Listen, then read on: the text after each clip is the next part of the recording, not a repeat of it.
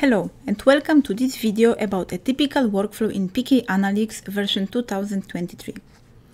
PKanalix is an application for non-compartmental analysis, bioequivalence and for compartmental analysis. Together with Monolix for population modeling and model diagnosis and with Simulx for simulations, it creates a powerful suite of interconnected applications that cover the full modeling and simulations workflow. It is a modern and efficient software with all necessary tools to conduct the analysis, such as the quality control, flexibility to handle a wide range of scenarios, graphical tools, and validated model libraries. Besides that, PKanalix make it easier to run the analysis and use the data to the right decisions. First, the user-friendly interface and streamlined navigation helps you to focus and speed up the workflow. Second, with a few clicks, you get the immediate feedback from out-of-the-box plots and from interactive results. Third, you can generate a report directly from the interface and use it to create a presentation or a submission document. And finally, in one click, you can extend the NCA analysis in Monolix to build a population model or to Simulx to simulate a new scenario. So let me show you how it works in practice. I will go through a typical PKanalix workflow with the following case study.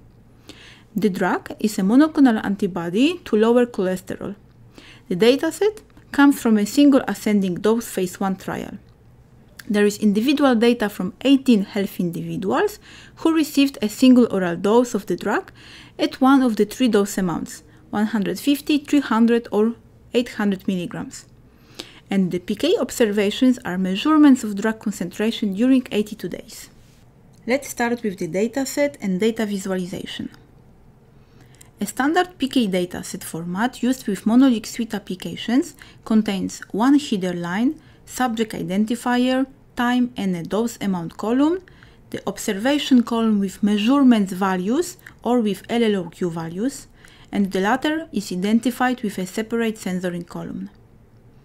Your dataset can have a different format, for example with several header lines, BLQ information as strings in the observation column, and dose groups only instead of the actual time and amount of a dose. It is also compatible with PKanalix, but it requires formatting to transform it into the standard format. To ensure the integrity of my original data file, that can be, for example, protected from modifications, I will perform the formatting steps directly in PKanalix as a part of the workflow. I open the application, start a new project, and load the data file via the data formatting option. The data formatting process is intuitive and PKanalix guides me through the necessary steps. In the Initialization tab, the subject ID and time columns have been automatically selected. I remove the second header line and click on the button Next. In the Observation tab, I select the drug concentration using the column DV, add the left censoring option, and I select to read the LLOQ values from the observation column. PKanalix will automatically extract the LLOQ values from strings. With the preview button, I can check how the formatting steps are applied. I have now a new censoring column and strings in the DV column have been replaced with the LLOQ values. Later, I will define in the calculation settings how to handle this sensor data in the analysis. Now I go back to the formatting and in the treatment tab, I add a single dose at time 0 and I select a dose amount for each individual from the dose group column. As for BLQ, PKanalix will extract the values from the strings. I click on the preview again. My formatted dataset is now in a standard format of PKanalix. If I had loaded a dataset already in this format, I could have started in this data tab directly. Here I specify tags. They are shown above each header column and inform PK Analytics how to interpret the data. This process is very fast because most of the tags are selected automatically. I add only the dose group as a categorical covariate. It will be useful in stratification of results and plots during data visualization and analysis. Now I click on Apply. In the unit settings, I set to display days for time variable and milligrams per liter for concentration variable. Amount is in milligrams too, so I don't have to perform any scaling. Units for all parameters will be automatically calculated according to this choice. I accept the dataset again, and I can immediately start exploring this data in the Plots tab. The plots are ready to use and interactive, which helps to understand the data. Here I see no outliers that I should be cautious about. In the display options, I remove individual lines, add more bins in the calculation of the arithmetic mean,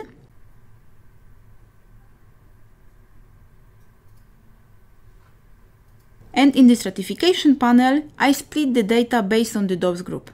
For better comparison, I merge them into the same plot. Without losing time on coding to create plots, I have important insight which will impact my decisions throughout the analysis.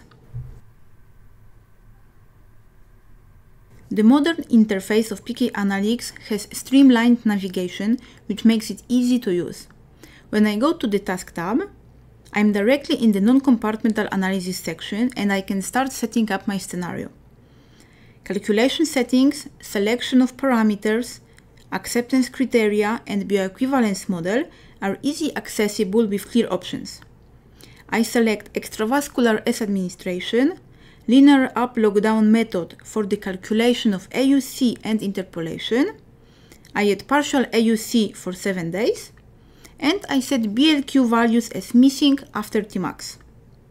In the parameter selection, I add to computation Cmax, AUC last and AUC to infinity that are scaled by those. I'm not going to include the bioequivalence analysis in this workflow, so the toggles next to the parameters are not important. I also add the acceptance criteria based on the adjusted R-square value with the threshold 0.98. I will use it to compare my results using only individuals with sufficiently good lambda z fit. Menus in the interface are not overwhelming, so setting the NCA scenario is very efficient and saves time that I can use for important steps, such as checking the terminal elimination slope calculation in the Check Lambda Z tab. Here, the graphical preview helps to understand how choice of different points impacts the lambda z calculation. To accelerate the process, the adjusted R-square method is automatically applied to all individuals. It's a good starting point, but I can customize it if I want for some individuals. With a simple rule, I first limit the number of points in the global method to 6, and I can now also refine the selection manually. For example, for the ID equal to 16, I can remove this point, and for ID 15, I add points in this time interval. Now I save this project.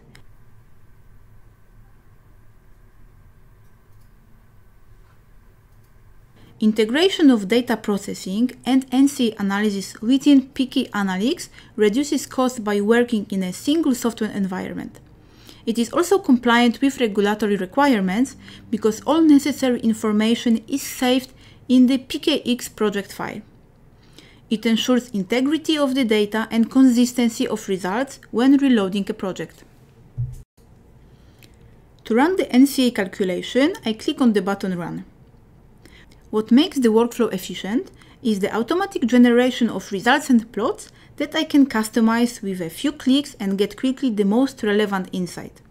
For example, in the Results tab, I can order results in the individual estimates table by increasing Cmax value or in the summary table, I can split it by a dose group or recalculate it using only individuals who satisfy the acceptance criteria.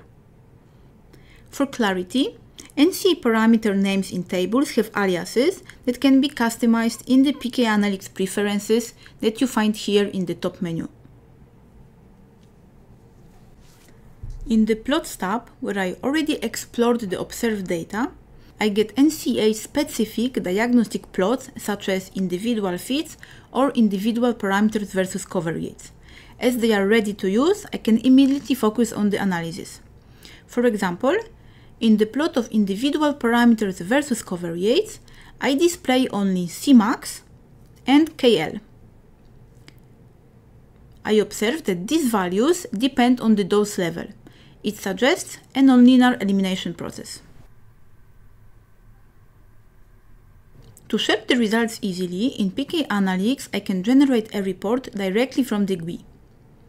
On one hand, it improves collaboration, for example, when I want to discuss the next step with my team or if I need to prepare a presentation.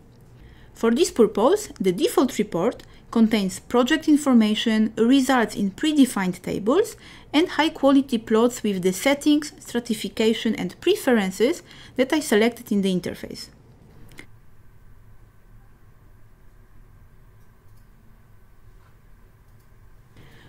In addition to the default report, I can create a customized report from a custom template. It gives more flexibility for tables and allows to include several versions of the same plot.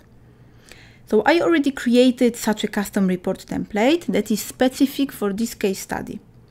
I already included the description of methods and findings, and I want to complete it with the observed data plots in linear and log scale, with box plot for Cmax and KL versus dose group, and with some specific tables that are split by dose with only relevant data. I select this custom template in the report pop-up window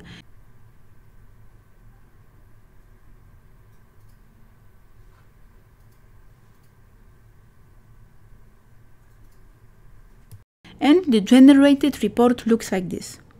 I have different versions of the observed data plot in linear and in log scale, with and without arithmetic mean, and I have customized tables for selected parameters for different dose groups in separate sections.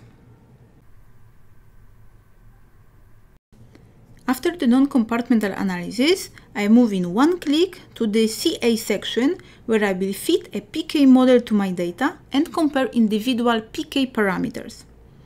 I remain within the same software, so I save time and cost related to data preparation and learning a new tool.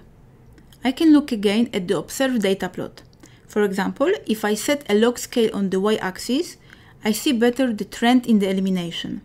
One significant slope suggests that a one-compartmental model will be a good starting point. I set up and run the compartmental analysis in three steps. First, I select a model. PKanalix has a built-in model library accessible directly from the GUI with almost 30,000 validated models from classical PK to complex systems. I start with a model with oral administration, delay and linear absorption process, one compartment and linear elimination. I don't have to code each model, so I can focus on the modeling process and be confident about the model's consistency across different projects and different teams. This is a crucial element for quality control. However, PKanalix also gives you full flexibility in model definition. If needed, I can write my own model and load it, or I can edit any library model directly in the interface, check the syntax for errors, save it as a new model and load. From the regulatory point of view in these cases, I would have to provide these custom model files together with the PKanalix project file. Fitting a model to the data uses an optimization algorithm that requires initial values for the model parameters. I will set them in the second step in the Check Init tab. I use the AutoInit algorithm that finds good starting points. This graphical preview of the model predictions and possibility to change the values manually, for example for clearance from 0.5 to 1, gives a full control on the selection of accurate initial values. After saving the values, I move to the third step. Here I specify the calculation options such as constraint on the parameters and cost functions that is used in the optimization process. For now I will keep default values and run the scenario. As for the non-compartmental analysis, I can start model diagnosis immediately because the results and plots are generated automatically. The individual fits plot shows the goodness of fit for each subject. I can overlay values of PK parameters and set a log scale on the y-axis to see better if the elimination phase is well captured. Another plot, the observations versus predictions, helps to spot model misspecifications. The log scale on x and y axis shows better what happens at lower concentrations, and I see here a slight overprediction trend at large times. At this point, the interactivity of plots is really useful in diagnosis. If I click on this data point, the corresponding subject is highlighted in all plots and if I go to individual fits, I can quickly investigate the issue. The elimination parts here escapes the linear slope and might be better fitted with a model with nonlinear elimination. And in fact, it confirms the previous observations on the dependence of the KL NCE parameter on dose amount. I already prepared a project with a nonlinear elimination. It's a Michaelis-Menten model from the TMDD library I have already run the compartmental analysis, so let's check the goodness of fit in the plot. Here we see that the fit has improved. Decisions during drug development impact patient safety and regulatory approvals. To increase the confidence about what the next step should be, I can use the compartmental model in simulations to analyze what happens in new scenario. For example, in this case study, I can use simulations to predict the concentrations at a steady state. Monolix suite applications are fully interconnected, and I can easily transfer my project from PKanalix to Simulx and to Monolix. Here, in one click, I export the dataset information, compartmental model, and estimated individual parameters directly to Simulx for simulations. Now, I only need to define a new treatment element that is a multi-dose regimen with 6 doses once every 4 weeks with amount 400 milligrams. For the output, I use the automatically generated output element and I increase the observation time to 168. Now in Simulation tab, I select these elements in a simulation scenario and run the simulation.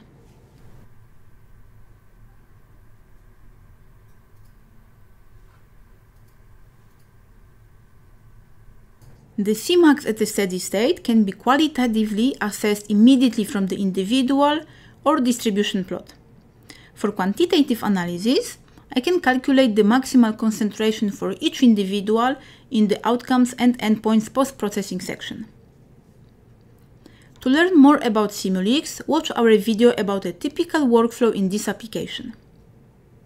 I can also transfer my PKanalix project directly to Monolix and build a population model. After the export, the population model is already set up and I only need to click on the button Run. And then it will estimate the population parameters, assess their uncertainty, and I can use other Monolix features to improve my model. To learn more about a typical workflow in Monolix, watch this dedicated video. The seamless interconnection between applications is very important. Why? Because in such an environment, there is nothing to hold you back from building a realistic model, use it to simulate new scenarios, and answer questions. Which questions? For example, what is the optimal dose? Or what is the optimal trial size? What is the effect in a different population of individuals? Or how the uncertainty impacts the results? or any other question that can accelerate the drug development timeline and increase the success rate of a clinical trial. If PKanalix sounds like a good solution for your project, contact us for more information or to start a free trial.